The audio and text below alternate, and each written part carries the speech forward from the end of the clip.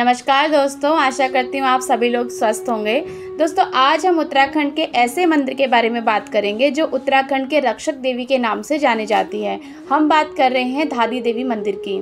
धारी देवी एक हिंदू मंदिर है जो भारत के उत्तराखंड के गढ़वाल क्षेत्र में श्रीनगर और रुद्रप्रयाग के बीच अलकनंदा नदी के तट पर स्थित है।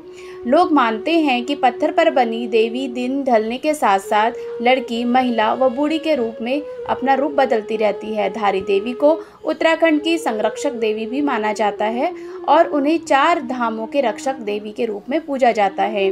धारी देवी मंदिर भारत के 108 शक्ति स्थलों में से एक है, जो कि श्रीमद देवी भागवत द्वारा बताया गया है। एक पुराणिक कथा के अनुसार एक बार भयंकर बाढ़ ने एक मंदिर को बहा दिया था और धारी देवी की मूर्ति धारो गाँव के पास एक चट्टान पर फंस गई।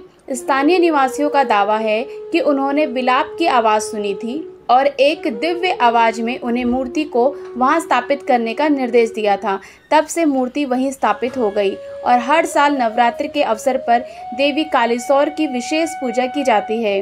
केदारनाथ में आए बाढ़ का सीधा संबंध भी धारी देवी को ही बताया गया है। एक परियोजन कंपनी ने धारी देवी के मंदिर से प्रतिमा को अपलिस्ट करने की ठानी थी। गढ़वाल के लोगों ने इनका विरोध किया और इसे विनाशकारी भी बताया था, लेकिन कंपनी के अधिकारियों ने उनकी एक न सुनी और धारी देवी की प्रतिमा को 16 जून 2013 को अपलिस्ट करा दिया। उसी दिन केदारनाथ में जल प्रलय आ गया और सैकड़ों लोग काल के गाल में समा गए और स्थानीय लोगों और भक्तों को भी उत्तराखंड को धारी देवी के क्रोध का सामना करना पड़ा, क्योंकि उन्हें 330 मेगावाट की जल विद्युत परियोजना के लिए इनके मूल स्थान से स्थानांतरित कर दिया गया था, जो बाढ़ के बाद खंडहर में तब्दील हो गया। अठारह सौ बयासी में एक स्थानीय राजा द्वारा भी इसी तरह का प्रयास किया गया था परिणाम स्वरूप भूस्खलन हुआ था और जिससे केदारनाथ विध्वस्त हो गया था। आपको यह अद्भुत जानकारी कैसी लगी प्लीज़ कमेंट करके ज़रूर बताइएगा।